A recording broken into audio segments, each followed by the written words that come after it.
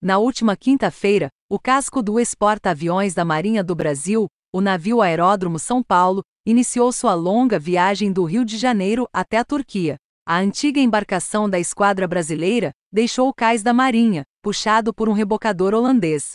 A movimentação da embarcação causou uma corrida na justiça para impedir que o casco do São Paulo deixe o Brasil, sob alegação de irregularidades no leilão.